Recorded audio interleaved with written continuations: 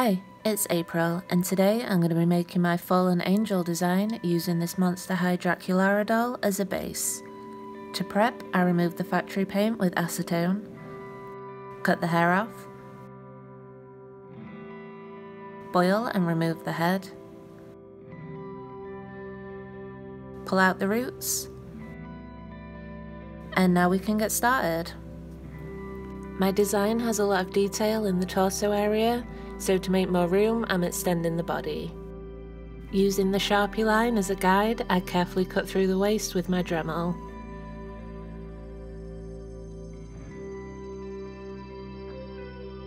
Then slice through the torso peg with a knife and pull in half. I now need to rebuild the peg, so I'm putting an epoxy blob on the end, making a hole with the armature wire, same again on the bottom half, but this time leaving the wire in place.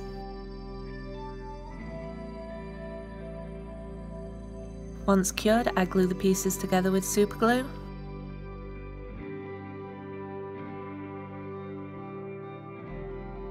And secure with more epoxy.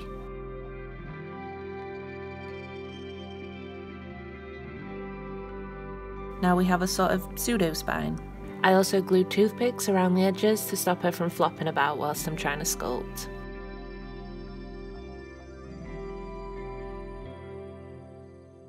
Now I can fill in the gaps with epoxy.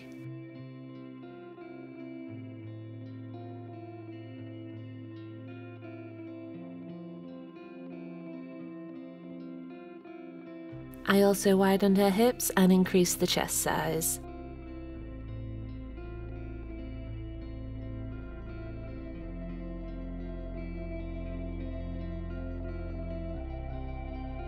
Then using a jewellery wire armature, I sculpted some big elf-style ears.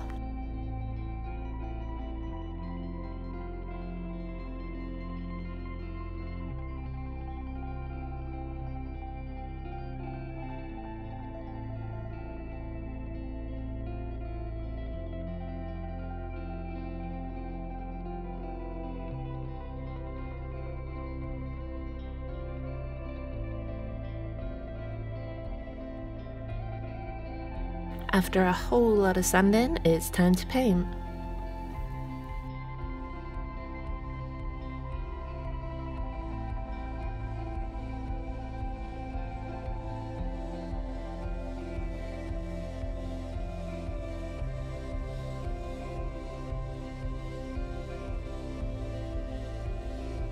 Sketch out a face with watercolour pencils.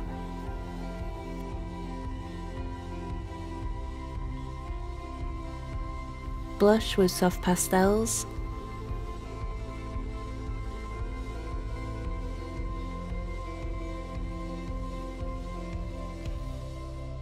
And paint with acrylics.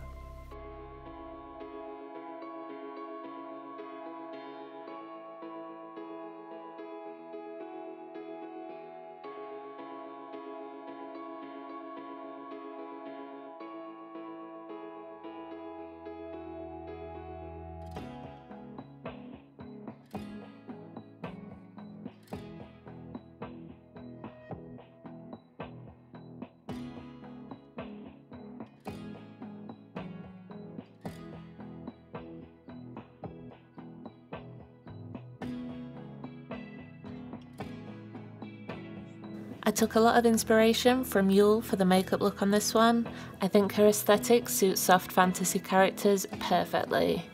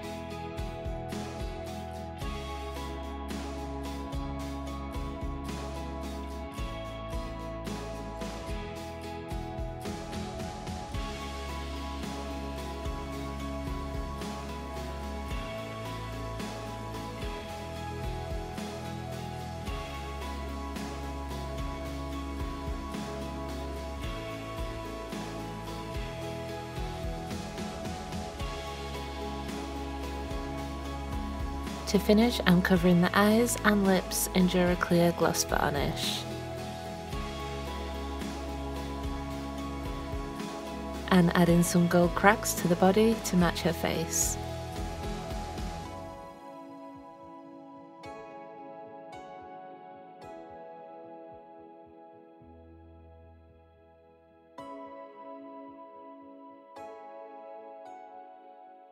Now let's give her some clothes.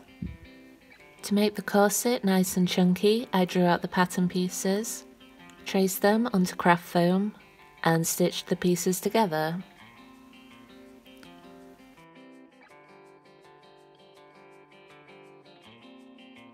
Covering cotton using a double layer to create the middle ridges. Covering lace, leaving out the middle section. And add white anchor thread for the lacing.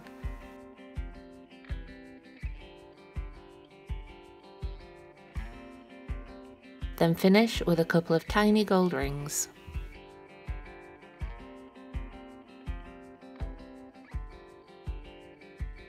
To build up the outfit, I'm starting with cotton strips for the bandages, then one tight leg and half a bodysuit,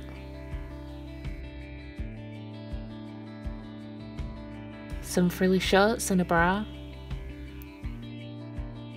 one long sock and a knee sock type thing, some white ribbon strips, the corset, some white string, some gold string, an elbow sock, and some white mesh. I also added more gold string and cut holes into the tights. I'm a big fan of asymmetry if you can't tell.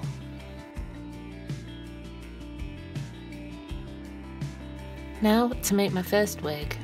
First, cover the head in cling film.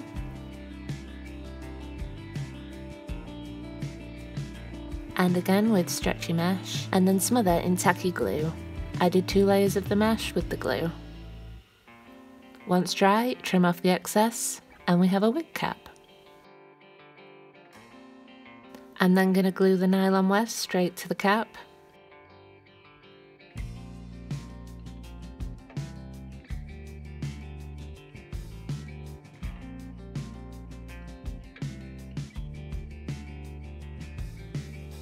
To make the part line, I remove the cap and cut down the middle. Then glue wefts to the inside flip them over and glue the cap shut. To finish, I trim the front so it's a nice shape, smush a flick into the parting, and shape the end with some gluey water.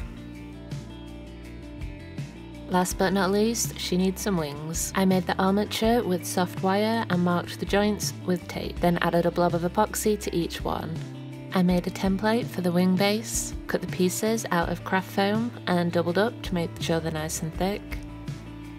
After correcting the shape of the middle section, I glue them to the wire frame. I cut up more cotton strips, the same as the bandages from before, and I'm going to wrap the exposed wire. I'm going to use washi paper for the feathers as it's one of those awesome materials that looks fragile but is actually pretty durable and it also has a great natural texture. I drew out templates for the feathers and tried to work out how many I would need. I then traced them onto the washi paper, folded each one in half, sliced the edges,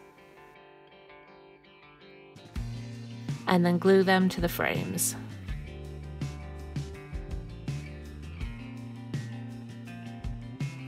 I also covered them in Mod Podge to add strength and to make the texture of the paper more apparent.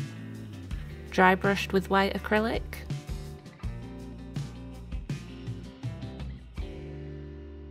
And added gold acrylic. I wanted to try and recreate that blood-soaked bandage look you see in Fallen Angel illustrations, only in this case her blood's gold.